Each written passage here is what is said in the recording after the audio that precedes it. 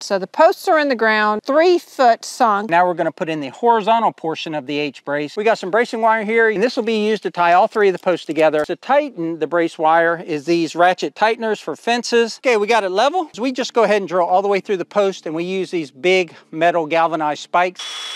Go right in the center of the horizontal. Oh. Take the bracing wire from the top down to the bottom, and we're gonna put the ratchet on this side because the fence wire will go on that side. I pulled out about 16 feet of wire because we're eight feet across here. Run it through the staples, and now I'm gonna attach the ratchet. I'm just gonna run this through some wire. So I'll wrap this with real close coils. Don't cut your wire too short. Take the end I just cut, and I'll thread it through the ratchet. I'll make a loop. And then there's two holes in the ratchet in the center. Put that in that second hole, like tighten it up. Now you can definitely over tighten this and break the wire. You want this wire and this wire to have equal tension. Now that I know where the wire is gonna be, I'll put a staple on each side here just to keep the wire from moving.